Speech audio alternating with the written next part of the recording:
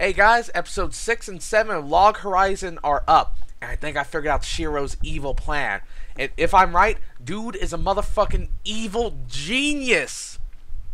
Evil genius. If Shiroe's doing what I think he's doing in Log Horizon, episode 6 and 7, motherfucker is crazy. And I love it.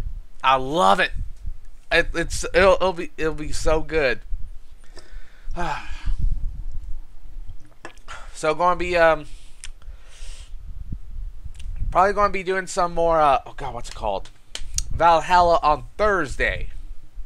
So be, stick around for that on Thursday for some Valhalla or maybe day after I don't know. Got to see what my work schedule is for that week. Don't think it'll be that busy though. Don't don't think so at all. Oh god, my throat. So that'll be that. I'm just trying to kill time. I want to get to a minute for this video. As you know, the link to the Google Drive box for these episodes is in the description. So go down there, check it out. Tell me what you think of the episodes and my predictions. Am I right? I better be. I'm probably right. Because he said any buildings for sale. Oh, it's going to be good.